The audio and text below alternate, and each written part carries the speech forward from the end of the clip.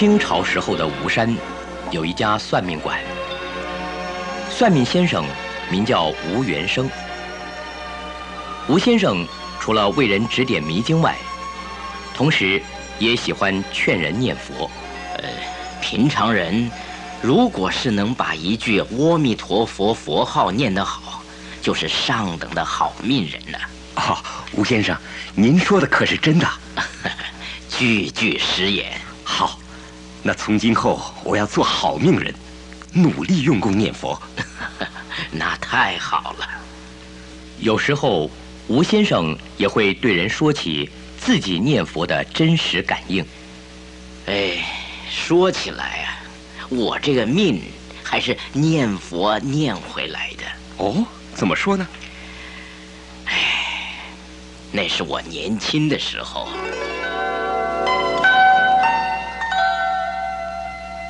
原来吴元生是徽州地方人，年轻的时候常在苏杭一带做生意。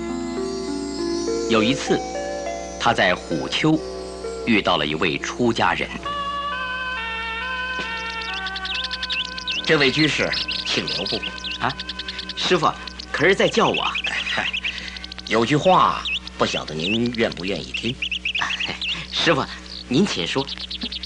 居士相当的有善根，只可惜二十九岁那一年，会遇上一场水难。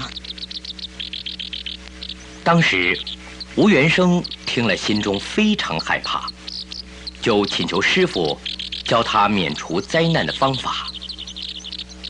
那位师傅想了好一会儿，才说：“你从今后应当戒杀放生，并且虔诚念佛。”加持大悲咒，或许可以免难。吴元生听了以后，就每天照着做，丝毫也不敢懈怠。同时，他又想到念佛的好处，就经常劝人念佛。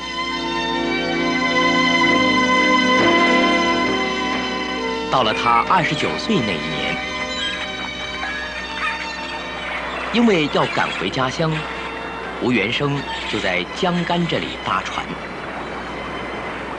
吴大爷，您快点上来吧，船要开喽！吴元生上了船，船上连同他一共有十七个人。这位先生，您这趟是回家啊？是啊，哎，您呢？我也是要赶回家去啊。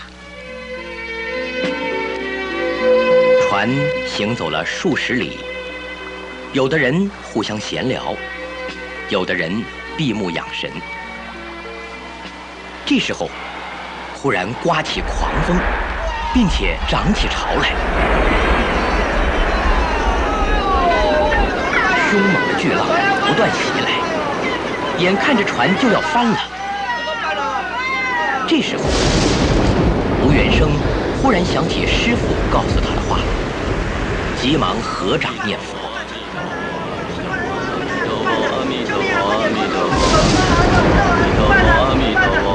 才一会儿功夫，船就翻了，所有的人都掉落海中。